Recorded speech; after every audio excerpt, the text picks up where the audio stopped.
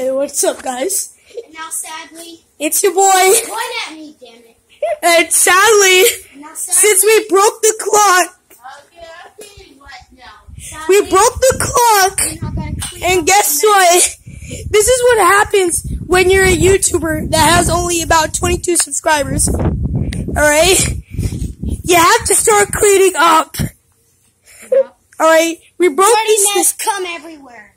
Yeah, it comes everywhere. And now we gotta clean it up, bruh. Oh my god. You're not really doing anything. I'm recording it. Oh, That's something. that actually is. So, this is what happens after you just, after you destroy an object that has many parts inside of it. Look at this. That's what happens when you destroy an object with many, many parts. You have to clean up.